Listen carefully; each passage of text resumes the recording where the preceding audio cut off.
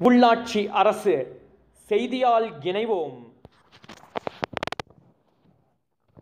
வணக்கம். உள்ளாட்சி அரசு செய்திகள் வாசிப்பது சரவணன். கோவையில் கலைஞர் தொன்னூற்றி ஆறாவது பிறந்த நாள் விழா மாநகர மாவட்ட பொறுப்பாளர் நா. கார்த்திக் எம்எல்ஏ தலைமையில் நடைபெற்றது. கோவை மாநகர மாவட்ட திமுக சார்பில் கலைஞர் மு. கருணாநிதி அவர்களின் தொன்னூற்றி ஆறாவது பிறந்தநாள் விழா மாநகர பொறுப்பாளர் நா. கார்த்திக் தலைமையில் இரத்த தான முகாம் நடைபெற்றது.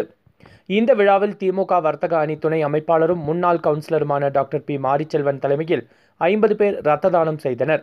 இந்த நிகழ்ச்சியில் மாநகர மாவட்ட பொறுப்புக்குழு உறுப்பினர் நாச்சிமுத்து டாக்டர் பி. மாரிச்செல்வன் வே. நா. உதயகுமார் எஸ். எம்.